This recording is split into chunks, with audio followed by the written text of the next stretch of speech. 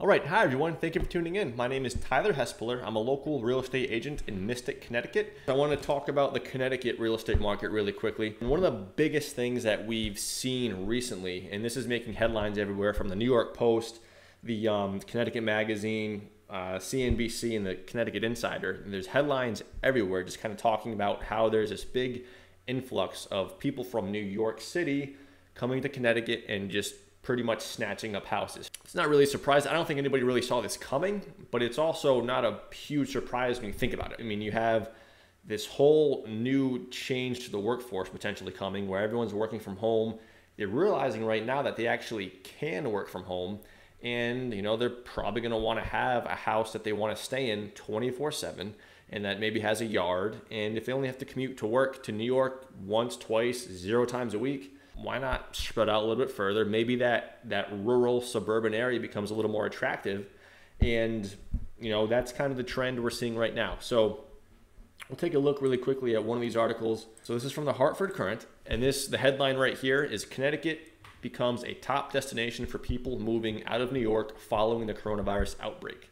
Okay, this is written May 25th, 2020, and this is and, and you know a lot of these articles are pretty consistent. They just talk about the same thing. People are moving from New York to other states and they're buying houses. You know, just a couple of statistics that we found in this article. Um, so one that jumps out at me is March 15th, between March 15th and April 28th of this year, uh, this moving company, Flat Rate Moving, saw a 74% jump from people moving from New York to Connecticut as compared to those dates last year.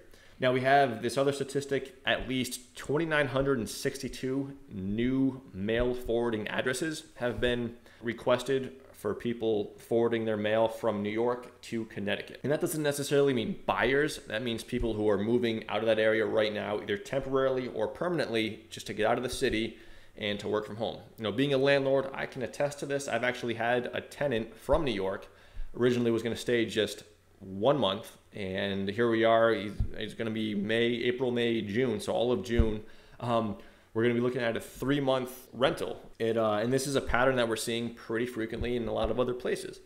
Now, it makes sense. People are fleeing the city and they just want to be able to have a place they can work from home. I think what we might see is kind of like a ripple effect. I think you'll see, you're going to start out seeing a lot of people kind of consuming the, the Fairfield County, the western side of Connecticut and then as those houses get snatched up, you might see that kind of widen. You might see this trend take place and work its way east along the whole shoreline of Connecticut, maybe Old Saybrook, Mystic, and we'll see how those how those numbers change. I mean, it's it's interesting. It's something that, like I said, didn't really see it coming, but it makes really total sense, right? All right, so we'll switch gears real quick and we'll pull up this chart. This is on showingtime.com, and ShowingTime is actually an app that real estate agents use. It's an app where you can request to see houses, right? So if I have a client wants to see a house, I go to ShowingTime, put in a request, and they get notified. So they have their own section on their website. You go to showingtime.com, and they have their own section, Impact of COVID 19 on Real Estate Showings in North America. So we'll click on this, and there's a graph right here, and it's gonna show early to mid March, going into mid April, we had this big drop in sales, and that's really when this kind of this big scare came out. People, you know, businesses were shutting down. There's a lot more fear, a lot more uncertainty back then, and people just didn't want, especially if you had an occupied homeowner who lived in that house, they wouldn't want people to go in their house and, and see it, right? They don't know, you know, who these where these people have been. And there was a lot of uncertainty, right? So a lot of these houses were just not being shown, and you can tell this drastic drop um, really took a couple of months to recover, but switch this to Connecticut.